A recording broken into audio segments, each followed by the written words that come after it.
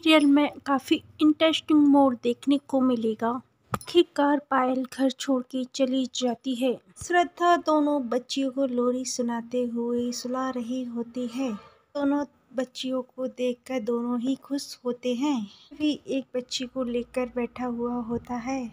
सब बाहर से पायल देख रही होती है और वह कहती है कि, श्रद्धा, तुम पहली और आखिरी लोरी अपनी बच्ची को सुना लो, फिर इसके बाद तुम्हारी हर रात काली होगी। क्या पायल श्रद्धा की बच्ची को मार देगी?